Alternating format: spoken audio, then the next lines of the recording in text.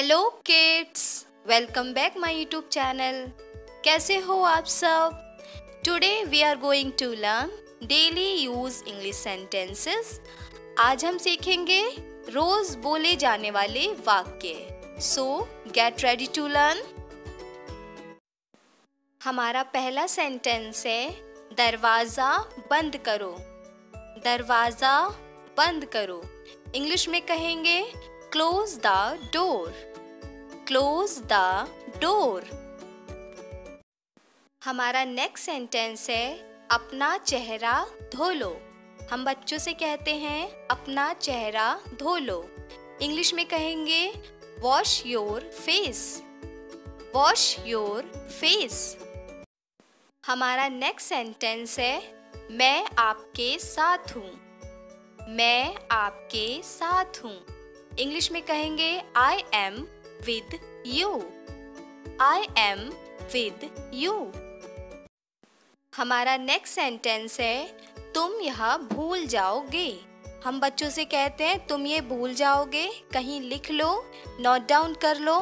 तो इंग्लिश में कहेंगे you will forget this you will forget this तुम यहाँ भूल जाओगे।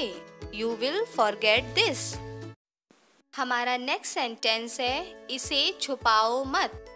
हम बच्चों से कहते हैं, इसे छुपाओ मत, दिखाओ। तो इंग्लिश में कहेंगे don't hide it don't hide it इसे छुपाओ मत। डोंट हाइड इट हमारा नेक्स्ट सेंटेंस है, दिखाओ मुझे। हम बच्चों से कहते हैं, दिखाओ मुझे। इंग्लिश में कहेंगे शो मी दिखाओ मुझे शो मी हमारा नेक्स्ट सेंटेंस है, यह बेकार था। हम किसी चीज़ को कहते हैं, ये तो बेकार था।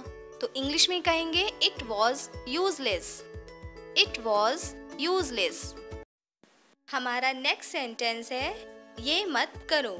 बच्चों से कहते हैं, ये मत करो, क्या कर रहे हो?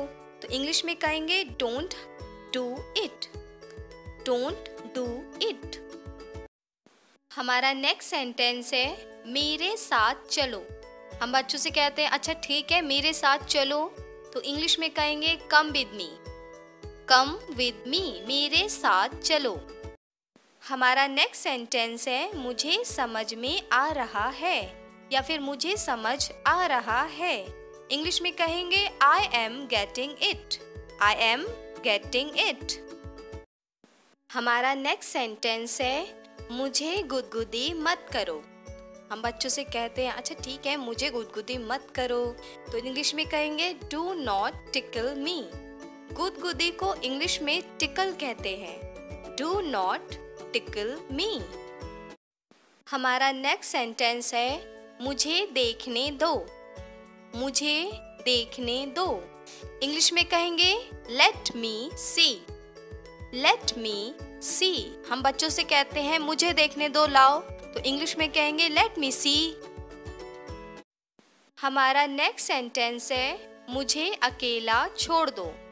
मुझे अकेला छोड़ दो। इंग्लिश में कहेंगे leave me alone leave me alone छोड़ने को इंग्लिश में लीव कहते हैं और अकेले को इंग्लिश में अलोन कहते हैं। हमारा नेक्स्ट सेंटेंस है, बोलने से पहले सोचो।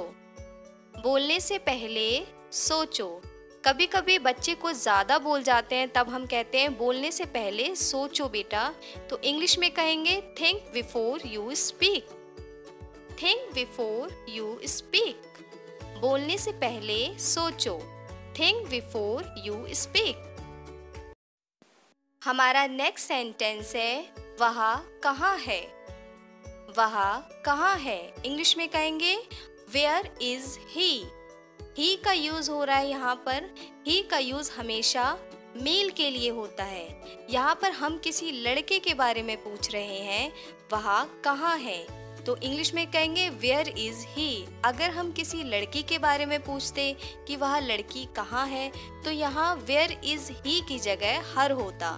तो वह कहाँ है? वेयर इज़ ही हमारा नेक्स्ट सेंटेंस है, आलसी मत बनो। आलसी मत बनो। इंग्लिश में कहेंगे don't be lazy don't be lazy